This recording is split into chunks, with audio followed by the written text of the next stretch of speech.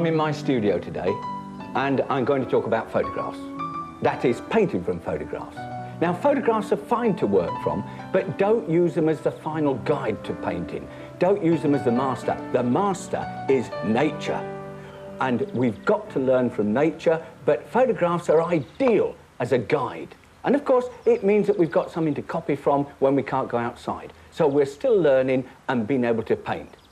Now, here I've got, I've got a photograph, and when, when you look at it, it looks fine, nothing wrong with it at all, but it's a bit bleak and empty over here. One of the things you can do with a photograph is just cut yourself a mask uh, like this out of a piece of paper, and then use the mask to position it over the photograph and look for areas. Also, you get rid of the bad areas as well. I mean, look at that, that looks very uninteresting. Move it around, you've got some reflection there, which is nice. Oh, that's rather nice, coming in there with the boat, yes, but let's try it the other way around. Let's try it this way around. So we move it around because after all you can have an upright picture the same as a landscape shaped picture. Now, ah, now that's nice. Now see, that's nice. That would make a very nice painting. Uh, and yet, when you look at it, it's only a small part of the photograph you took. So you haven't got to take or paint the whole of the photograph. Don't be steered into that way thinking, well, I've taken a photograph, that's what I must paint. I mean, this one over here, uh, is in fact a bad photograph, and we all take bad photographs. We're not all David Baileys. Uh, I take some bad ones anyway. And this one is very dark over here. So again, if you use the mask to move it around, if we come up, now look at that, that's a lovely one. The lovely silhouette of the tree, and the water down here, you've got reflection, or not as much reflection as the light in the water, that's the important bit. And of course the cows. Now, you can't see much detail in this one, and that's a good thing because it'll stop you fiddling, won't it? But there isn't much detail, you can't see it. So you would paint it very broadly, and it would be very nice to have a go at that painting. Now, there are other things with photographs, and look at this one. This is the ideal one. We can do what a photographer can't do. We can take things out. Now, look at these pylons. I mean, we can take all those out when we paint, so this could be painted, copying from here, and just simply remove those. In other words, don't put them in. So that's rather nice. But be careful that you don't take too many things out of a picture. Because if you do, you can be taking the character away from the, from the place that it is. It, it, it's got to have its own character. Don't remove too many things. be very careful with that. Then, of course, we get the sunset. Well, everybody wants to paint a sunset because when, when you're out there and you see a, a gorgeous sunset, I mean, you really get inspired and you want to paint it or you just want to keep it. And we usually take a photograph, of course, if we've got a camera, because sunsets don't last very long. I mean, they're only there for almost sometimes seconds before it all changes. I mean, take this one, for instance. That's a gorgeous photograph of a sunset. And if we were there, it would be magical. But to put that on canvas, it would be over the top it would be too much. Apart from anything, there's nothing else in the picture. Because it's a photograph, we accept it. If we were there in real life, we'd accept it. But a picture, it would have something lacking and it would be over the top. So try and steer clear of these very vivid uh, sunsets. now here's one which will give you tremendous enthusiasm, uh, enthusiasm, especially with a camera. When you saw that, you think, oh, look at the way these clouds are all going to the horizon and you'd photograph it and think, I'm going to paint that when I get home. But the problem with this is they're all going so well into perspective that it looks forced. It doesn't look real. On a photograph it does, of course, because we accept a photograph. Our brain says, well, that's a photograph, it must be real. But a painting, it wouldn't look really right. You'd have to be very careful doing something like that from a photograph. Now, here's a sky. Now, this, this is rather nice, this sky. Very subtle and very gentle.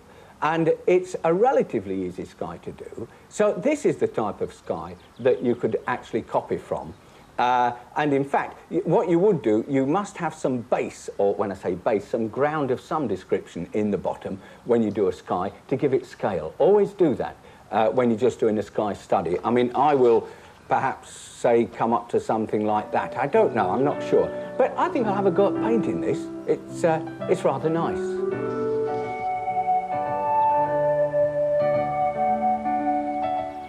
Right, we're all ready to start on this. Um, what I've done, I've, I've already drawn the, uh, the clouds in, with pencil, by the way. Uh, I'm working on paper that's been primed three times with an acrylic primer. And I've also coloured, put a colour wash over it. Now, I put this colour wash on because it, it does match up with the sort of colour that's on the photograph. I've got this sort of nice feeling of warmth, and so this is going to help. Um, also, I've decided to put some water in. Uh, I still might change my mind, but I don't think so. I think I've, I've looked at it and decided we'll just give that little bit of extra at the bottom when I put the water in. Just a little bit of it there. Right, so I've mixed a Turpsy wash of um, cobalt and crimson, and all I'm going to do is just suggest the clouds in, roughly in their shape, of course, and you can see the way the brush is moving. It's all sort of very free, giving a, a sort of cloud edge. And this is very turpsy, just, I, I, am looking at the different shapes that are there on the photograph. Uh, I started incidentally with this one because it's the main one. Now, I'm just suggesting this, and I'm trying to be sort of very nice and light and sort of feathery about this as I am painting clouds. Don't forget, always try to be what you're painting. And as I'm painting this, I'm thinking to myself, I'm a cloud, I'm a cloud. It sounds daft, doesn't it? But it isn't. It's amazing because what I'm doing now, I'm looking at this photograph, but not looking, observing looking very carefully at it. And it's amazing, things that I can see in it now that I couldn't see in it when I looked at it just as a photograph um, without any intention of painting it. And I, am looking at all these different cloud shapes and everything that's about. And this is what happens uh, when you do paint from a photograph. You will observe a lot more. And this you must do because, of course, this is all the most important, or one of the most important parts of painting. We've got to observe and see. Uh, but don't get restricted with the colours of a photograph because sometimes colours, of course, on a photograph can be quite uh, different to, um, to what nature is. Uh, again, you're using everything as a guide. Now, it doesn't matter if you copy it, if, you, if your brain can't cope with trying to change it um, to more nature's colours, don't worry. I mean, you'll, you'll get into that the more you paint from nature. But if you start, if you're painting and you are changing colour, or your colour is, is different to the photograph, don't worry. It's funny, I'm still half closing my eyes. Remember I've been saying half close, oh, a hair on that. Half close your eyes when you're painting. It's funny, I'm looking at the photograph here at the side, I'm half closing my eyes looking at the photograph. Now, that's still important because it's still taking the middle tones away from the photograph so that I can see it the darker and lighter tones. So you still do it even then. And I, am purposely leaving little bits of this background now near the clouds because I'll be bringing in some light colour there. And it will be nice if it's dry underneath. And of course, where I don't paint it, it will be dry. And that's going to help me paint over the top without bringing the bottom colour up. Notice I'm not painting over the trees because if I paint over the trees I'd never get them dark because it would all be wet paint on them. Notice how the brush, I'm, I'm taking the, the weight off it when I come to the edge. Can you see that? I'm just taking the weight off the brush and it just leaves it all nice and feathery uh, and not hard. Now, this cloud is the, the yellowest or the warmest, uh, and that's just under the large cloud, as you can see. So I'm, I'm putting that in now. Um, these, these clouds are reasonably warm, but they get darker, or shall I say bluer, as they get, oh, there's a bit of warmth under there. Uh, they do get bluer as they go down towards the horizon. Let's just add a bit more there. And now these are very warm as well. Um, they're very similar to the, the one above. So I'm putting those in now. And then we've got all our sort of light coloured ones in. Now remember, I'm not concerned with with the foreground.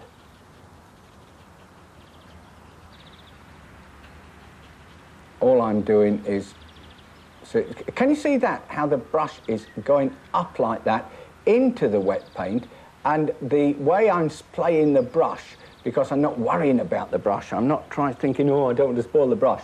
You won't spoil a brush um, if you treat it reasonably well. You can go against the grain like I'm going, but what does happen, it just makes it appear as though it's the tops of trees, which of course is what we're painting. And so that's rather nice. That, that's a, a, a sort of little bit of technique where the brush is helping. So let's put that in and just one or two little blobs up there just to suggest the tops of trees because these are closer and you've got more shape with these. This isn't particularly the foreground that I would choose for something like this, but um, because it does, it, it's so silhouette, uh, it does give a bit of a sort of, uh, well, let's say a photographic look with it dark like this.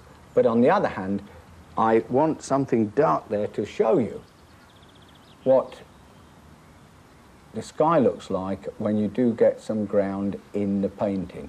So that is there, that comes out, it's got to finish reasonably straight there. We've got reflection under there, but before I do that, I'm just going to put a little bit of water in. And I'm using the same colours that I've used for the sky, and that's obviously because we get a reflection from the sky. Um, and that's how we get the colour of the water. I'm now flicking almost, well, it's really thick paint. Uh, you can see the way it's going on. There's a bit caught round there. There's a lovely bit in there. It's caught along there, a little bit along this edge. I mean, don't overdo this, um, because if you do, it, it's going to look too exaggerated and a weeny bit over the top. You've got to be very careful, especially when we're doing a sunset. I don't know why with sunsets, but they can look really over the top. Now, according to that, the brightest part of all is here. Now, this is where I've got to be careful because if I do it too much, then it will spoil it. But I think we're all right with that. We'll just do that and a little bit more yellow in the middle of that, just to give it a bit more I think I, if I keep fiddling now, yeah, I mustn't fiddle. I, it, it, I, I, do fiddle a lot near the end. I don't know what it is, but what we do need, we need some of that bright under here, where we're catching the sun.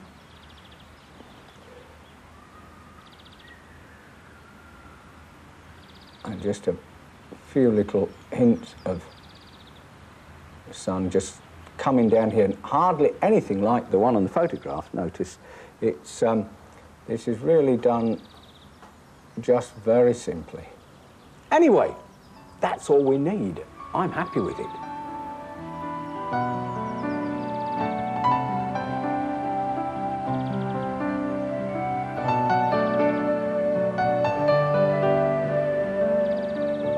Now, we've painted a little bit of water, but I want to paint water in more detail. And one of the ways to paint water is to show reflections.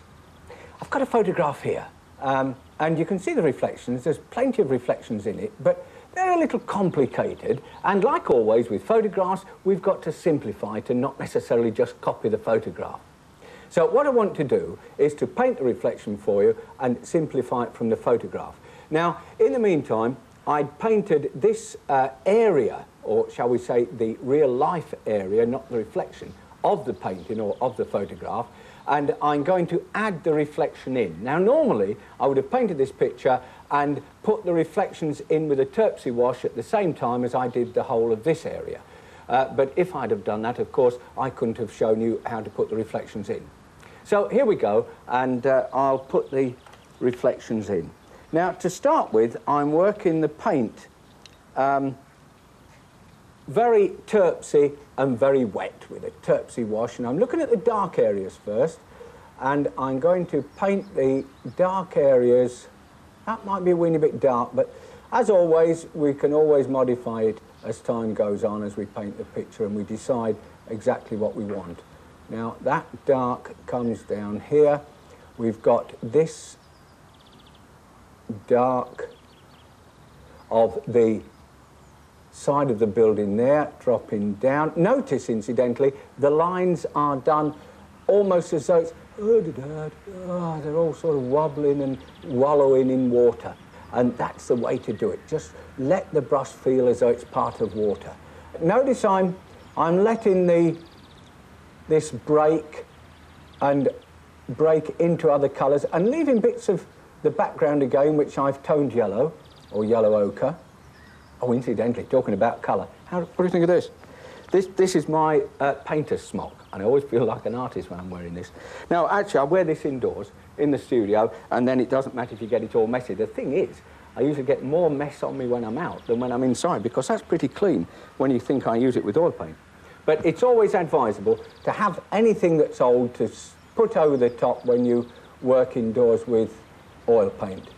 Now, this coming down again, as in water all sort of rippling and waving around, lolloping, which it does. That, that lovely sort of, that's a lovely sound when, when you're in a boat. It really does. Oh, I know what I must put. I'm starting to drift now because I'm starting to get into this, uh, this water. We've got the reflections from the windows, so we'll put those in another window down here. Now, I'm not trying to copy exactly. Remember, you mustn't do that. Oh, we've also got a reflection here of this dark area. Notice how I'm wandering. Now, what it is, it's my eyes that's wandering, and they're looking at various things as I'm painting, and looking at the photograph, and just deciding what to do. And when I see a spot, instead of leaving it and forgetting it, unless, of course, I uh, I can't break off from what I'm doing. I just sort of go up to it and paint it in. And that means that you're looking at the whole, looking at all the painting as you work and not just one part, and that we must do. Now there's a dark that runs down there, I don't know where it comes from, I've no idea. We've got the white of the cabin, another, they're, they're the cabin windows, then it comes dark again because there's that side of the house uh, which is a browny dark. So I'm just going to make it a, a little bit more, a little bit browner. And really, what I'm doing, I'm analysing what's there and just taking it in its shape and area. Now, that is a weeny bit too brown. It needs to be a bit bluer than that, so I'm adding some blue to it. And then it comes down, we've got the house here at the back of there, runs down here, all the way underneath. Now, one thing that is happening that I have seen from this photograph, and that is that the line, the uh, reflection, movement, not, not as much reflection, but the movement on the reflection, the movement on the reflection is going at that angle it's almost as though the tide is coming up and rippling at that angle. And that means that all my brushstrokes uh, to do with real ripples want to go in that direction, like that. So I'm, i mustn't forget that when I'm actually putting in some of the lighter colours, which will be going over uh, the darker ones. Right, we've now got that lighter colour. I've just remembered that bit through there. I'll light a bit in here.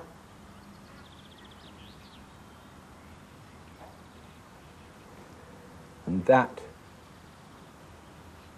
stops and runs past the house roof there and into here.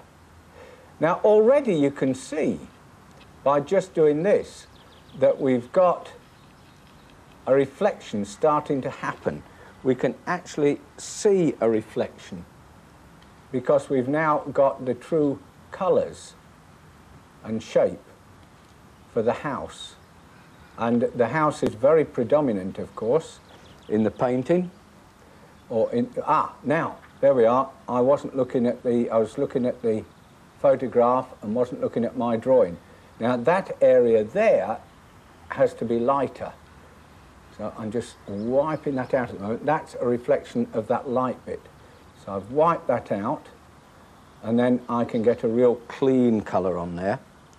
Now I'm just going to go a weeny bit darker for the other house.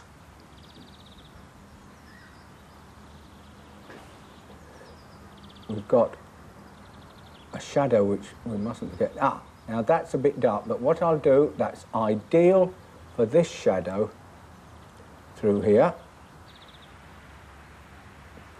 That's reflecting that shadow on the side of the houses. Bring it into here a bit.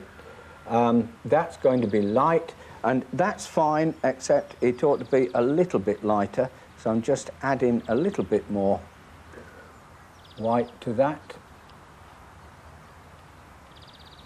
Now it could be even whiter still, I think, because that is quite dark, the shadow at the side of it. So still a bit more white. And these are really subtle colours against each other, but they do make a difference. Now, what I'm doing, eh, I'm simplifying it. At the same time, it might look very complicated. But to simplify it, what I've done, I've looked at the photograph and looked before I actually painted, and this is very, very important, look before you paint and look at the photograph, get used to it and know what you're going to paint.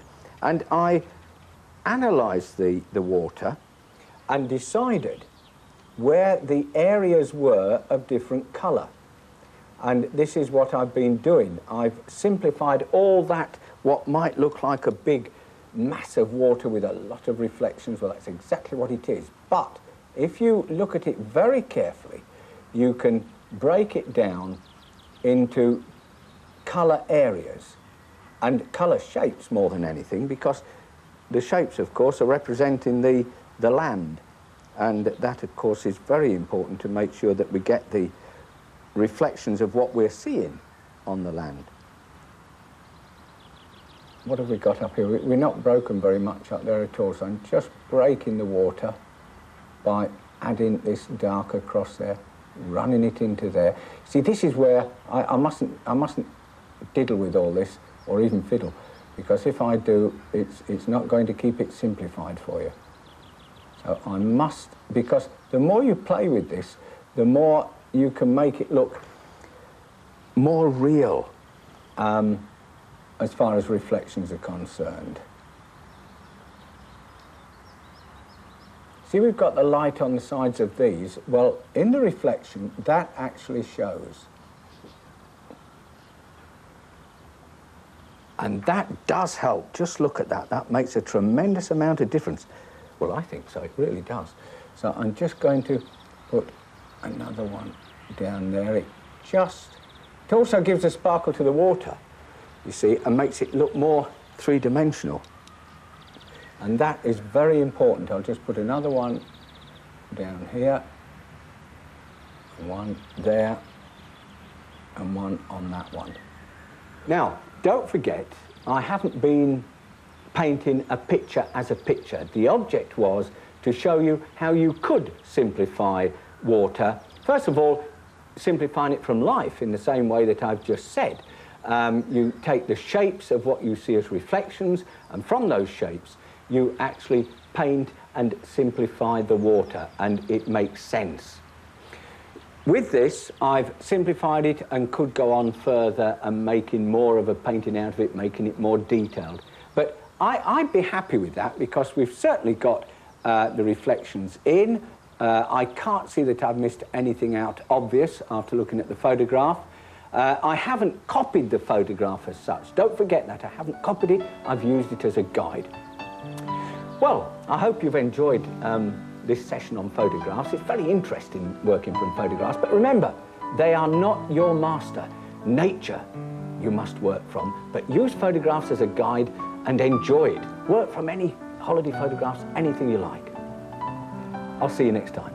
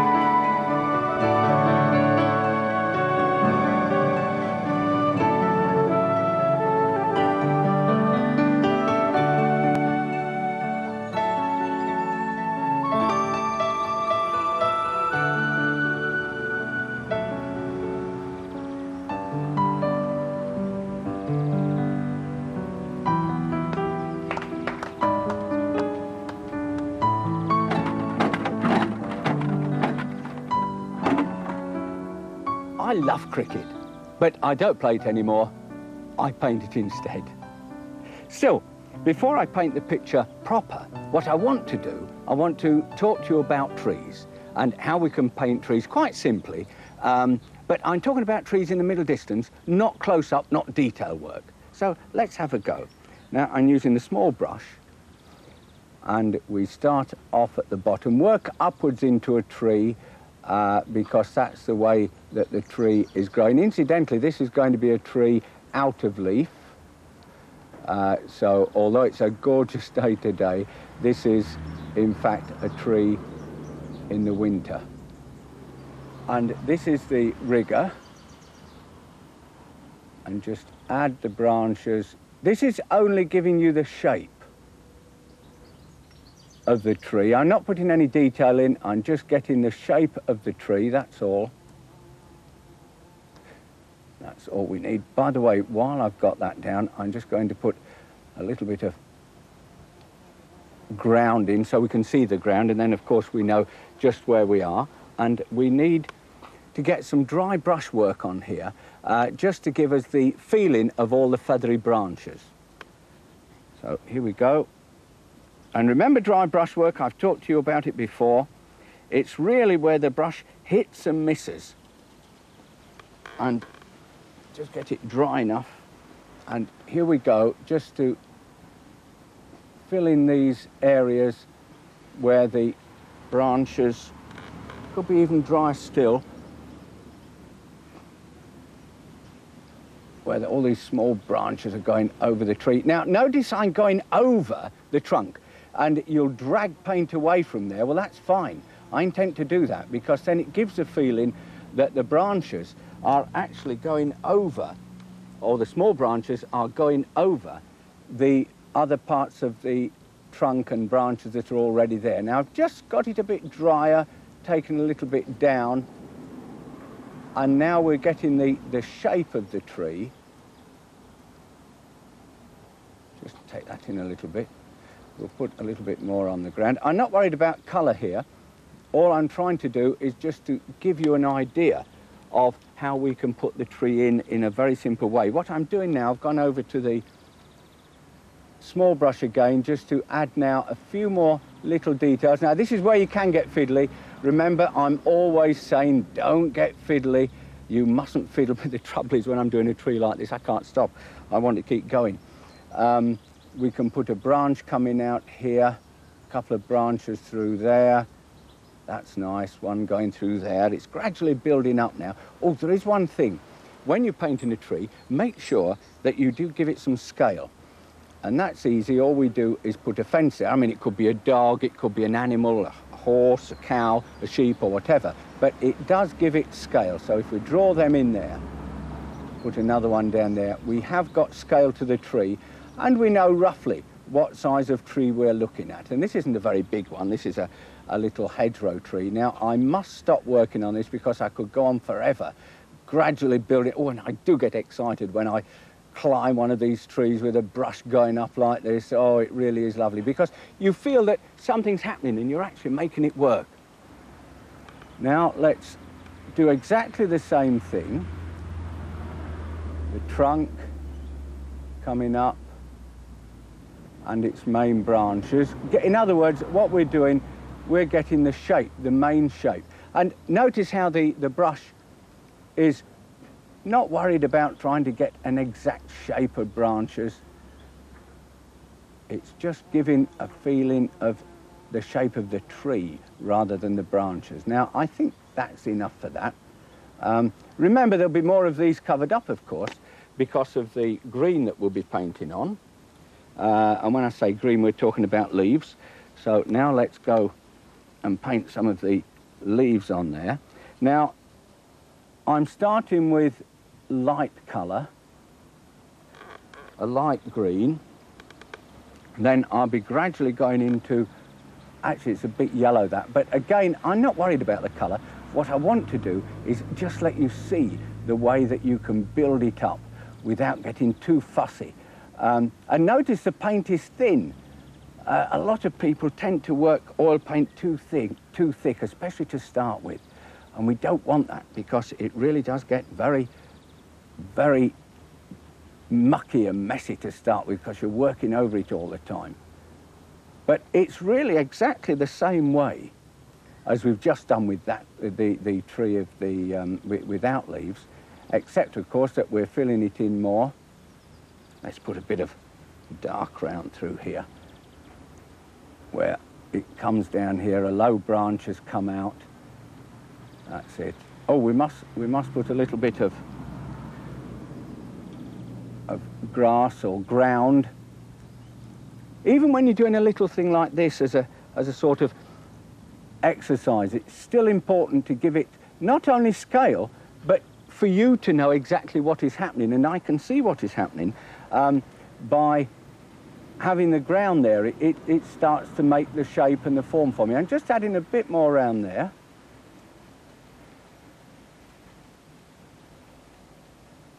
And just a couple of little branches with the thin rigger brush, which is ideal for doing jobs like this, it really is. Right, it, it's a bit of an odd shape, but uh, it's right, it's fine. Yes, I like it.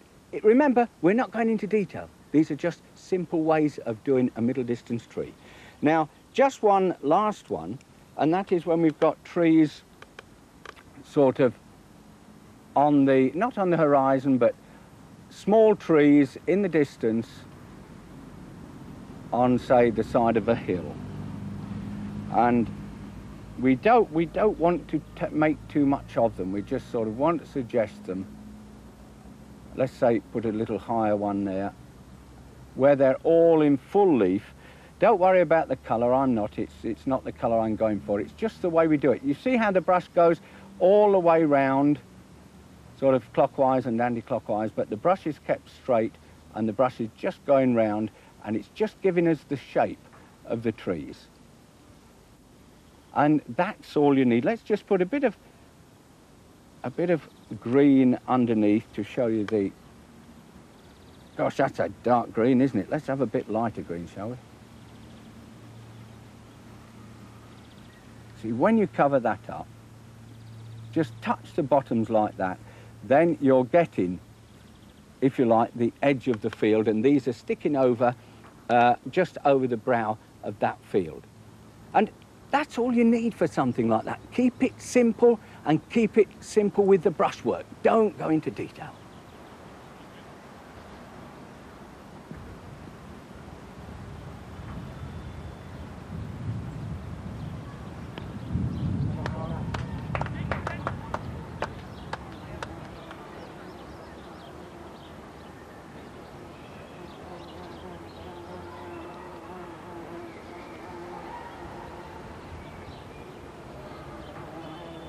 Well, it's a great game. Uh, in fact, the team that's fielding at the moment is Ottery St Mary, um, where I used to live in Devon. And uh, they were my home team. In fact, uh, I don't live far away from them now, and I often see them. And they're doing very well at the moment. In fact, I shouldn't be watching the match at all. Uh, I should be painting. So I have done something. Let me show you what I've done, uh, and we've really got on with it. Now, You've seen me in previous programmes when I've been doing uh, the drawing in. I've drawn this in with pencil first, then I've gone over with uh, a Turpsy wash of blue and painted over the pencil. I drew it in pencil because it was reasonably complicated with all the figures and the different things in the painting. I just wanted to be sure that I was reasonably correct. Then, after drawing it all in or over the pencil with the Turpsy wash and the sable brush, then I went in with um, a Turpsy wash of colour. And so what I've got, I've now got an underpainting that's got the basic colours in and at the same time got a lot of tones in. And in fact, one of the, you, you, can see an area around here by the pavilion where it's all dark and lovely and juicy. And then under the pavilion here where, where we've got the windows, they're all dark. And these are dark areas. And that's important to get them in first because then I will work from there um, with my tones. And you can see I've left the cricketers in white. I shall start, as usual, going over the top, working from the left to the right of the picture, just putting in the sky. Now, the beauty of it, uh, where it misses and doesn't fill the canvas as I... Oh, incidentally, that's another thing. I'm working on canvas. It's posh today. uh, working on canvas. It's, uh, it's a lovely feeling as well. I've been working a lot on board and paper over the other programs, but now I'm on canvas, it, uh, it gives a, a different feeling, does canvas. It's a lovely sort of grit to it. It's really nice. Now this is quite dry, this paint. Uh, it's almost a dry brush. And just going into the sky with the leaves, just to give a feeling that the leaves are overhanging. There's a nice dark area there. I'll leave that for a minute and come back to that. But we've got the sun on this, this side at the moment. Of course, as usual, we're going to, the sun will change and we always, when working outside, have problems with the sun. But as I said before, what you must do is decide on which way you're going to paint it when, you're, when you start the drawing and then you've got to keep like that during the painting. Ah, that's, that's not bad, that's not bad, that's nice and dark. And it's still warm, not too cold. and it's nice, lovely at the side of the flag. Because the flagpole is white. And this means that we're going to get light against dark. And that's going to help a lot when we come to painting the flagpole. Because it will be very light against, it. oh that's a lovely dark that and then just coming underneath here with those that's really getting dark under there. Now, you see how it helps having this dark underneath already uh, and this colour, because I'm really only dragging this on at the moment. I'm not putting thick paint on. I don't need it yet. Um, I, all I'm doing is, is getting even more into the tonal work of the trees. Now, I must put in this background of hills, and in fact, it goes through there so I mustn't forget that. I'll put that in now. Could be a weeny bit bluer, I think. I've just added a little bit more in. Yes, that's not bad. A little bit lighter as well. Um, now let me see, a little bit there comes along, just lighten that up fractionally through there. Right, that's it. That's now we're getting progression uh, into the distance. Now these have got to be dark just down here. I'll leave that for a while. I'm just looking. Always remember, always look at the painting, keep looking at it, keep studying it, look at the scene and decide what needs to be done.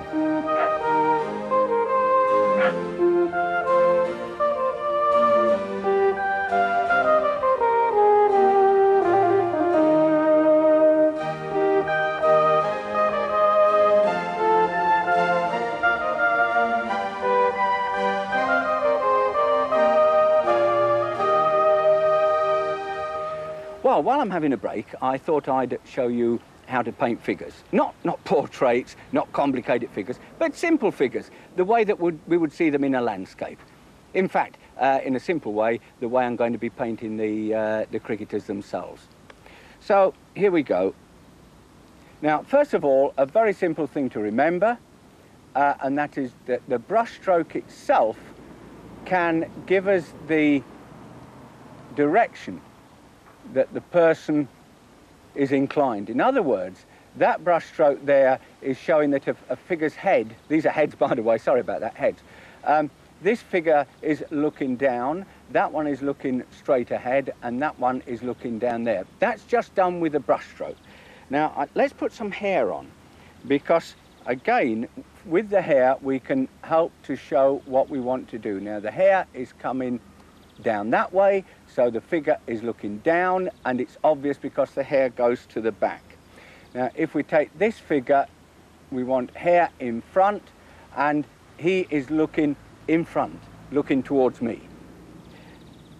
Now, this one over here, if we put the hair on that side, then the figure is looking in that direction.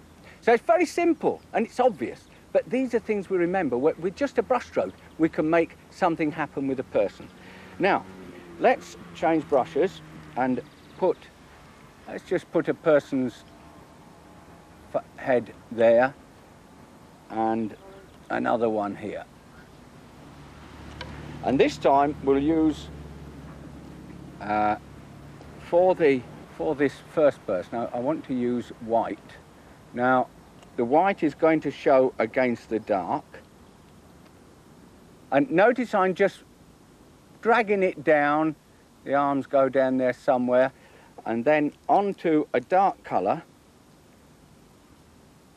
and I'm letting it happen. Legs are just, actually he's, if you like, walking towards us. I think we ought to put a bit of bit of hair on him. That's it. He's coming towards us.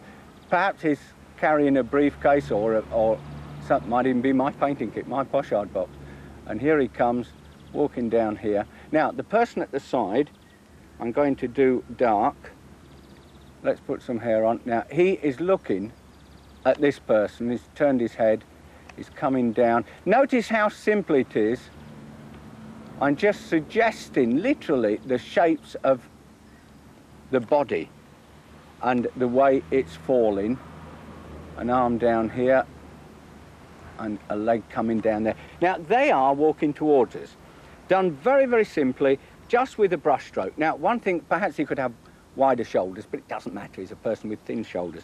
Don't worry too much about uh, how the people look, whether they're fat or thin. But of course, the beauty of it is you can make people exactly how you want.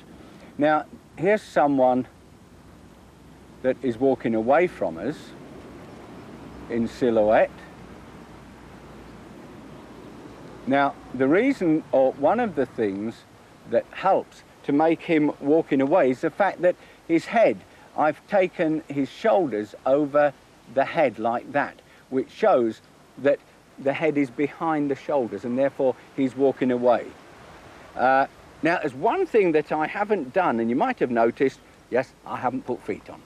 Now, don't put feet on because when you put them on, they do, believe me, they do look very strange. Let, us put them on this chap here uh, and you'll see what it's like. So we put one on there and one on there, one on there and one on there. And they look like Charlie Chaplin's, don't they? Don't put feet on. Let, let it be a suggestion and it will look right. Unless, of course, they're very close up where naturally you would put feet on.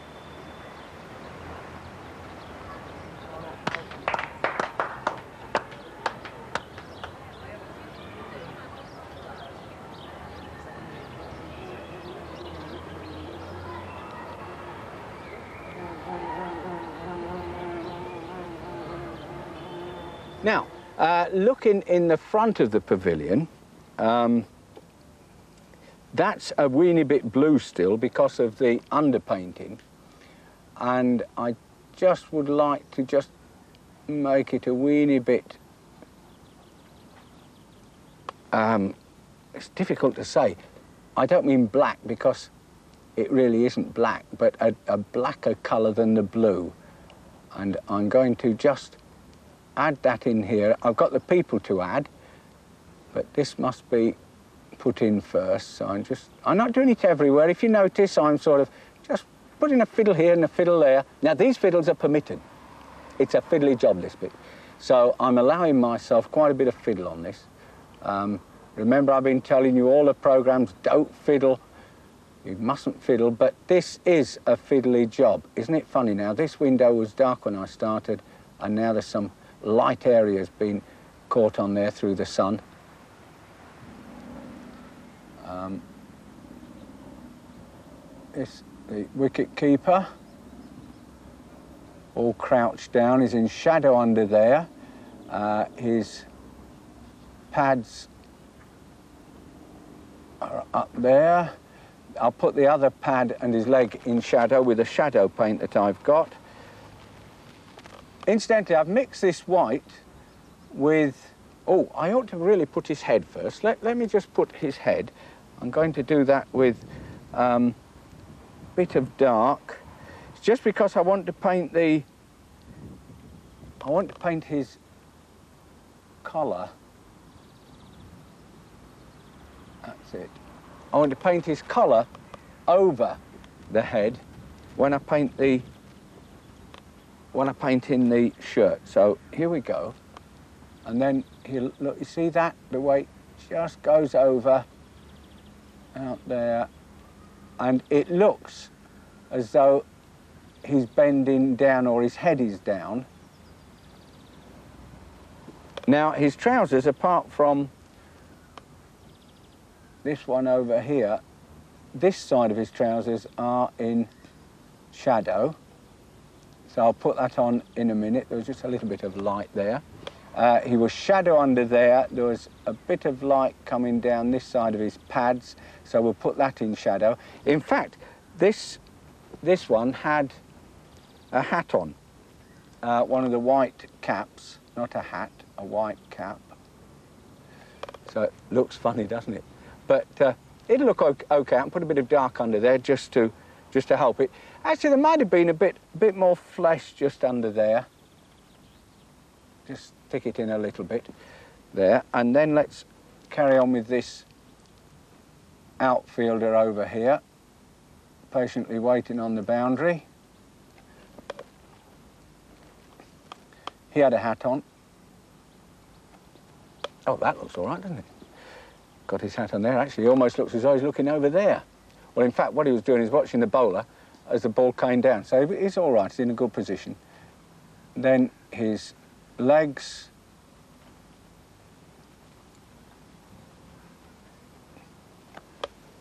Yeah, it just needs, I think, a weeny bit more around there. Mind you, this is where you haven't got to fiddle because we're not doing these, as I said earlier, we're not doing them as portraits.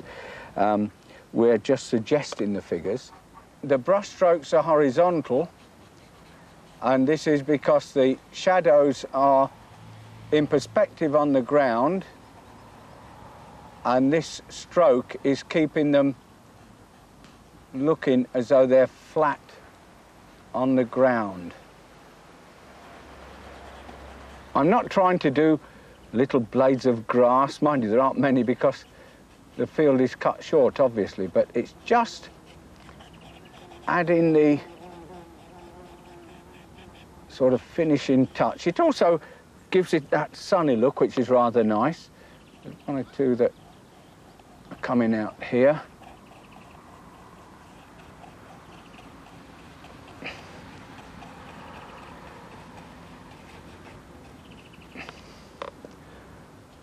Right.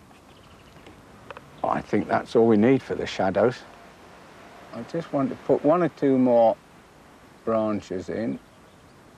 Of course, these branches now are actually light, not dark. As the sun has changed round, they've moved, or the, uh, the sun has moved, and, and the light has changed completely.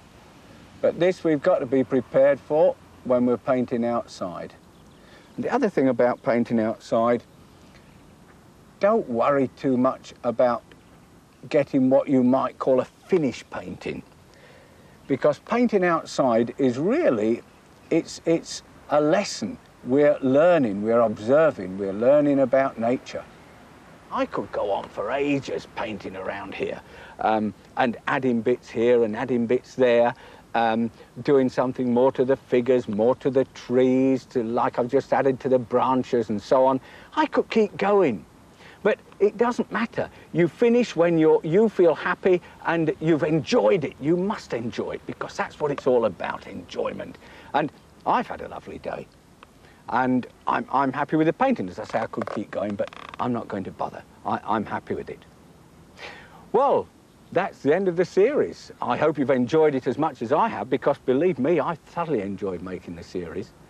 And don't forget you've got to practice. You must practice and practice, observe, see things, see nature, and you'll get there. Believe me, it's, it's easier than you think. Why don't you have a go? I'll see you again.